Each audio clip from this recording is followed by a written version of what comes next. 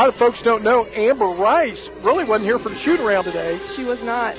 She is actually in the military, and so she had, I'm assuming, probably a military practice this morning. So we'll see how she plays after Yep. already having a pre workout this morning. Yeah, got here just a, usually a, a player such as Amber. Usually they, they don't need a whole lot of practice. Shot from the foul line, up, no good. Lauren Hancher with a shot. Here comes Heather Schroeder for the Tigers. Amber Rice, three, top of the key. What we say? She nails the three. All she needs is a few practice three pointers, and she's ready to go. Wow, how about that? Tigers with 11 point lead, 19 to 8. Amber Rice drives, shot, stop, puts it up, she Nice. scores, and she's fouled. Amber Rice in line for an attempt for an old fashioned three point play. She's got it. Amber Rice back the other way for the Tigers. Amber Rice going in for the layup, and she's fouled and she scored. Very nice. Amber Rice, free throw on the way. Up and in. Hey, you didn't Oh, jinx it. thank There you go. Three pointer up and in. Amber Rice. Out to Riley, over to Amber Rice. Here we go. Amber's going to drive, stop, pop, off the glass, up and in. Now, what the? Only a two pointer. What are we going to do? Great job by Amber, really. I'm joking aside. Let's see. Tigers had seven score. Amber Rice nails another three point lead. Don't forget, we got the men coming up. Amber Rice and lane, shot up and in. Rachel, Nice. uh, Amber Rice with a nice rebound up and Very in. Very nice. Amber Rice is really on top of her game today. Amber Rice, three pointer on the way, right wing, and Amber Rice, count them, her fourth three of the day. And McDonald Amber Rice. Amber drives, stops, pops off the glass, up and in. Oh my gosh.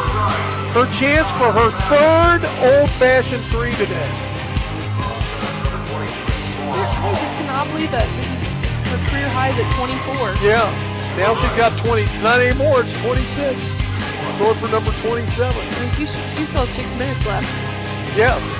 Just think if she come down three to three, she could hit 30. Nice pass inside to Allie Miller. Back. Oh. Here it is. Amber Rice three. Count it. Amber Rice. 30 points. Amber Rice with 30 points. Drives. Shot. Up. Up and in. Amber Rice points number 31 and 32. Rachel Huxold back the other way. Scores on the. No, she missed the layup.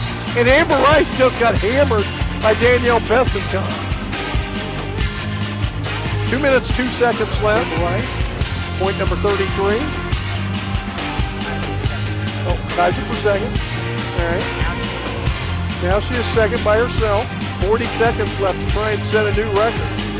Now they try and go over. Amber gets the ball, goes up for layup. No good, but she is fouled. Amber throw on the way. She has tied the record with her point number 35. Amber Rice has got the record. Amber Rice. And what a great day today. Once again, for Amber Rice, finishes with 36, 12 for 19 beyond the, uh, from the field, 5 for 17 beyond the arc, a perfect 7 for 7 from the foul line. She also had the four assists today, and she had 10 rebounds, double double. Double double. Awesome. Absolutely, just unbelievable for Amber Rice uh, today. And Amber was on fire, 36 points. And did you did you worry about when down there on that one shot where it got blocked and maybe you got fouled? You think you're ever going to get a shot to, to get the record? Uh, did you know about the record, by the way?